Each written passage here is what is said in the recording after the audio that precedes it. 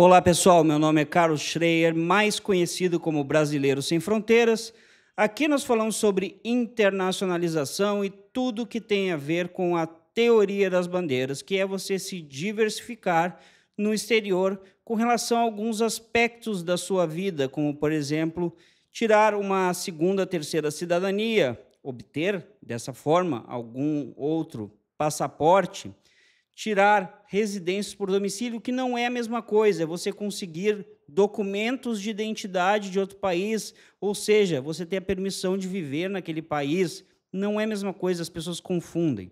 Você trocar a sua residência fiscal para outro país, ou seja, morar a maior parte do tempo naquele país, abertura de empresa offshore, abertura de conta bancária offshore, investir no mercado financeiro em dólar, investir no mercado imobiliário em dólar e por aí vai. Bom, hoje eu quero falar sobre o que eu falo desde 2013, na real, antes de eu ter saído do Brasil.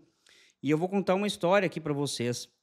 É, deixa eu só mostrar primeiro aqui. Uh, aqui.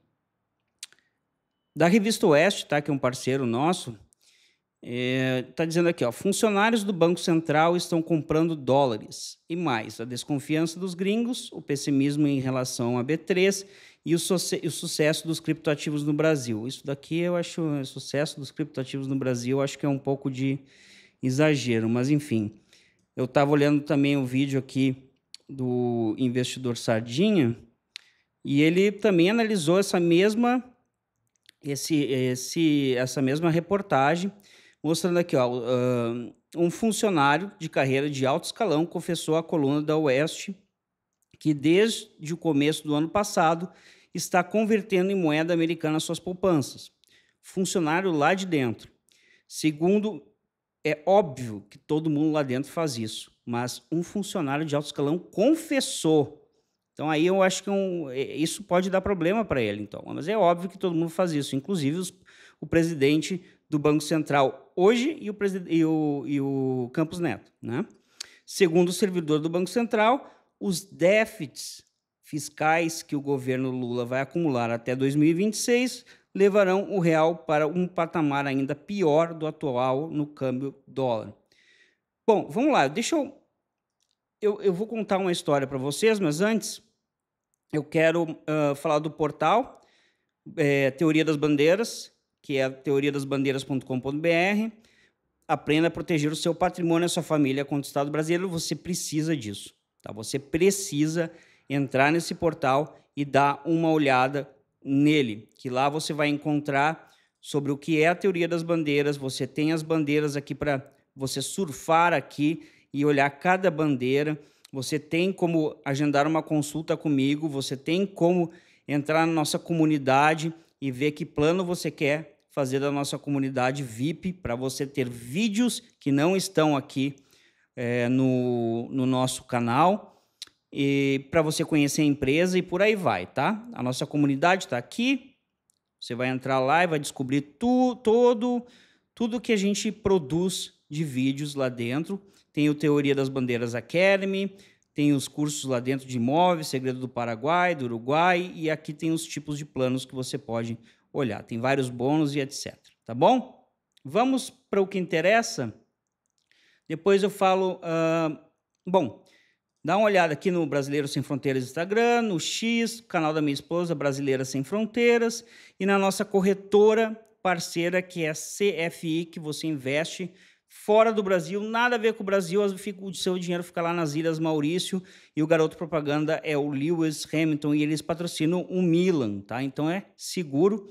Você pode colocar o seu dinheiro em dólar, investir em dólar em diversos, fazer o trading é, no é, você pode usar o MT5, MT4, Trading View e os produtos são Forex, ações, energia, metais, ETFs, cripto e por aí vai, tá? Eu sugiro você todos os links aqui na descrição e no primeiro comentário. E isso é importante, porque a gente vai falar sobre dólar, tá? Que nesse momento está em 5,67, mas eu posso mostrar para vocês. Vamos botar aqui. Eita, aqui vai ficar difícil de mostrar, mas vamos lá. ver se eu consigo mostrar aqui. Vamos lá. Olha só o que vocês têm que fazer no TradingView para ver o que, que aconteceu com o dólar, quer dizer, com o real, né? Então vamos lá. Aqui, quando o 93, né, quando foi não tinha o real e aqui em 94 quando lançou, né? Ele era valia até mais que o dólar, tá? E depois lançou em 94, foi indo, foi indo, foi crescendo. Aí quando é, tiraram a, a paridade em 98 e aí subiu, tá? Vamos lá, subiu bastante. Inclusive, quando eu estava no Canadá, foi que pegou, que isso, quando o Lula ganhou em outubro de 2022, isso aqui subiu bastante. Isso seria mais ou menos corrigido pela inflação, seria em torno de 7 alguma coisa, tá? E aí depois, com a China comprando tudo, nós chegamos lá embaixo a 1,54, deixa eu ver, por aí, 1,54 em 2008. E aí a gente subiu um pouquinho de novo, né, com Lula no, no, no governo e tal. Depois teve a Dilma. Lá em 2011, nós estávamos 1,56. E estava tudo beleza, os brasileiros estavam felizes, mesmo no governo da Dilma, o que é incrível, certo? E aí, o que, que aconteceu? Começou a subir devagarzinho, devagarzinho, as, é, eles foram fazendo muitos gastos, foi aumentando o déficit, e aí foi indo, foi indo, foi indo. Aqui, eu comecei, quando estava 2,25, eu comecei a perceber que tinha algo errado. Até depois, na Copa, ali em 2014, tudo parou. Né? Em 2013, eu comecei a pensar em mudar para os Estados Unidos, mas também, como eu trabalhava, eu já era economista e eu já trabalhava com imóveis, eu tenho Cresce do Rio Grande do Sul, cresci lá no Rio Grande do Sul para trabalhar com imóveis, eu já estava pensando em tirar o Cresce, cresci lá na Flórida, para oferecer os imóveis para os investidores brasileiros é, investir na Flórida, o que é possível, todo mundo sabe disso, investir com o dólar a 2, certo? E os imóveis rendendo lá é, com aluguel e Airbnb na faixa de 8, 10% e ainda a valorização do imóvel, tá? E aí o que, que acontece? Em 2014 eu vi o negócio indo para o ralo mesmo, tá? Copa do Mundo, é, gastos em estádio, é, gasto na, é, em infraestrutura nas cidades. E aí foi indo, indo, indo. O que, que aconteceu? Em outubro de 2000 e, vamos botar aqui, novembro de 2014, o dólar já estava 2,53. Foi quando eu fui embora. Mas eu decidi em outubro, dia 26 de outubro, quando a Dilma se reelegeu, eu decidi ir embora e o dólar estava 2,50, 2,40 pouco, alguma coisa. Eu decidi ir embora e aí sim oferecer oportunidades imobiliárias para os brasileiros na Flórida. Bom, me separei, acabei meu casamento, peguei e em 15 dias eu estava na Flórida, fazendo o curso de corretor. Porque eu já tinha o Social Security desde 2006, 2007, mais ou menos. Porque eu, eu tinha feito um curso técnico em 2006 e 2007 na Califórnia. Bom, o que, que eu consegui daqui? Pouquíssimas pessoas investiram. Pouquíssimas. E aqui eu tive um, eh, aprendi que você não pode dar uma opção para as, pessoas. Você tem que fazer uma análise da vida da pessoa e oferecer a teoria das bandeiras. Então eu aprendi de uma forma muito, muito, é, como é que eu vou dizer, pesada para mim. E aí eu também percebi que eu não posso mudar de um país para o outro é, com toda a minha vida é, all-in, né, que se chama. Você apostar tudo em outro país. Tirar do Brasil, tirei tudo que eu tinha no Brasil, tudo. E botar tudo nos Estados Unidos. Mesmo os Estados Unidos valorizando muito mais, é, o mercado imobiliário, depois da, da crise, voltou é, e valorizou demais, demais. Até hoje, sempre valorizando. Aí o que, que aconteceu? Foi indo, foi indo, foi indo. Em 2015 e 2016, o dólar estava 13 e pouco. Eu tive vários clientes que perceberam, já estavam sabendo, foram lá, olharam os imóveis e acharam caro. Imóveis em Orlando, por exemplo, que eu trabalhava, casas de oito dormitórios que alugam do lado da Disney por 8% ao ano, mais ou menos, em, e, e os, tem várias imobiliárias lá que alugam para você, de 6% a 8%, às vezes chega a 10%, casas que estavam à venda por 500 mil dólares, oito dormitórios, 350 metros quadrados, hoje estão 1 milhão de dólares, a mesma casa, rendendo 8% em dólar. Teve a pandemia que naquele ano não, é, não vendeu, não, não rendeu, mas a casa dobrou de valor. E o dólar estava 3. Depois foi subindo, mesmo no governo Bolsonaro. Mesmo no governo Bolsonaro. Mas o que, que acontece com o PT? O PT ele acha que para crescer, crescer o PIB brasileiro, eles têm que gastar. Gastar é keynesianismo, né? Gastar e assim você é, se você gasta na sua própria moeda, você não provoca inflação. Então você troca a renda né, de, de, de, de, de empresas, de famílias, é, taxa elas de famílias ricas para dar para os pobres. E assim você cresce um país, mas não é bem assim que acontece, e a gente viu com a Dilma, certo? Vai se repetir. O que eu quero dizer é que o que aconteceu em 2014, e aí entrou naquela, é, na, naqueles anos de 2015, 16, 17, vai acontecer de novo. Ou seja, de 2,3, 2,4, chegou lá para 13,90 e no governo Bolsonaro, que teve aquela crise lá, é, na, a gente sabe por quê, chegou a 5,60, certo? O que eu quero dizer com isso? Se a gente já está em 5,60 e o governo está fazendo a mesma coisa, onde isso vai chegar? Onde isso vai chegar?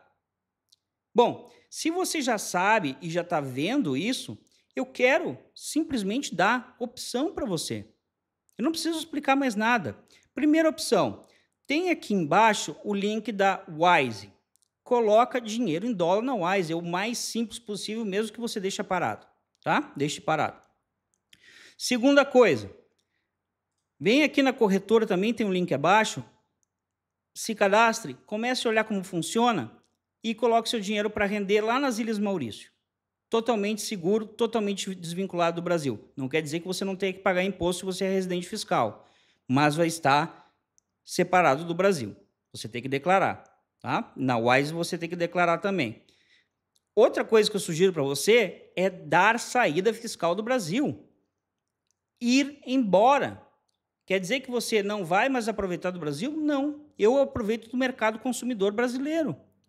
Os brasileiros são os meus clientes. Você pode continuar, mas dá a saída fiscal do Brasil e invista. Invista em outros países. Nós temos é, a comunidade você pode descer no portal. Nós temos a comunidade Brasileiros Sem Fronteiras, desculpa, a comunidade Plano B. Você pode conhecê-la aqui. Você vai cair nesse site, no qual você vai aprender sobre a teoria das bandeiras, vai, vai aprender sobre os países que a gente analisa e na teoria das bandeiras Academy, você vai achar lá dentro um curso que se chama Imóveis no Exterior, somente para os VIP, tá? somente para o membro Ultra VIP, que é 12 vezes 69 tá, por ano. O que, que acontece lá? Lá você vai ter essa área de membros aqui de imóveis. E aqui vocês vão ter oportunidades do mês, certo? Deixa eu botar aqui.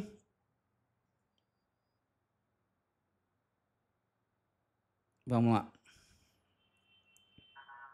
Vocês vão ter essa área de membros fora, que você coloca aqui, oportunidade do mês. Desculpa o empreendimento em Pino Alto, lá nas montanhas do Panamá. Outras oportunidades. Vocês têm a Praia de, do Caracol lá no Panamá, Orlando. Vocês têm o Uptown na cidade do Panamá, o Tribeca Santa Teresa no Paraguai.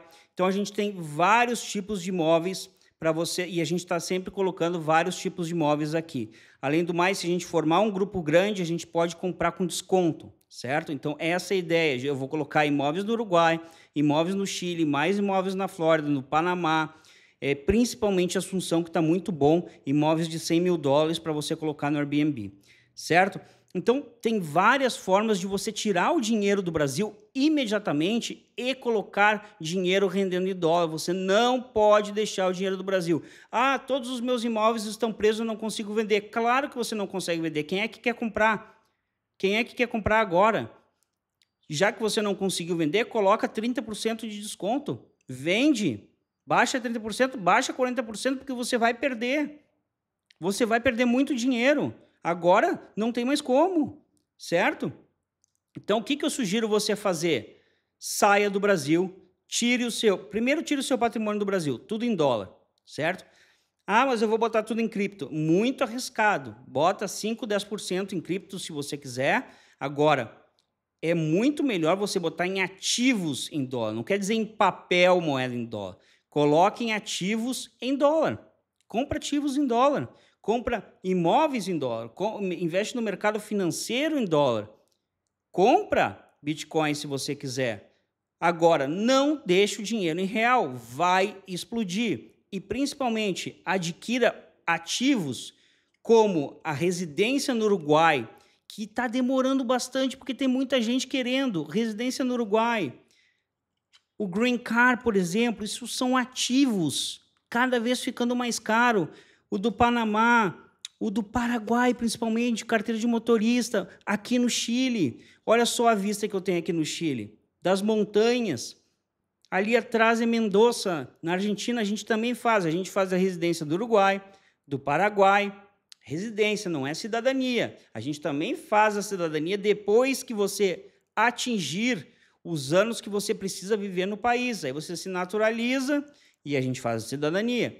Mas primeiro você vai atingir, a, você vai ter a residência, ou provisória ou direta. No, no, no, Uruguai é direta, residência permanente. Nos outros países, aqui no Chile é residência provisória, no Paraguai é provisória, no Panamá é, é provisória. Então a gente faz aqui no Chile, no Uruguai, na Argentina, no Paraguai, no Panamá, Costa Rica e Estados Unidos e no, em Portugal. Espanha também. E a gente tira a cidadania direta para você, se você é, tem descendência, no, em Portugal, e, Espanha e também Itália.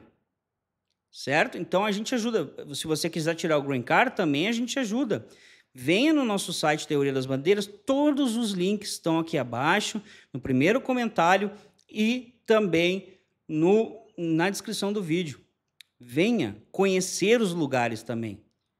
A gente ajuda você a aprender. O curso na comunidade tem muito material que não está aqui no YouTube. Eu sei que tem muito material aqui praticamente de graça para você aprender muita coisa sobre a teoria das bandeiras, mas não é nem 10% do que tem no curso. Certo? Você precisa aprender a se diversificar, porque aprenda comigo. Eu fui para os Estados Unidos e aprendi da pior forma possível, perdendo dinheiro, tendo que trabalhar e os brasileiros não investindo lá. Alguns investiram. Teve muita gente que deixou de comprar a casa de 500 mil dólares, o dólar a 3, e agora o dólar está quase 6, a casa vale 1 milhão de dólares e a pessoa deixou de ganhar desde 2015 a 2025. 10 anos deixou de ganhar 8% ao ano em aluguel. Certo, pessoal? Então, esse vídeo vai ficando por aqui. Venha conhecer o Chile também, que o Chile é espetacular. Certo? Um abraço a todos e até mais.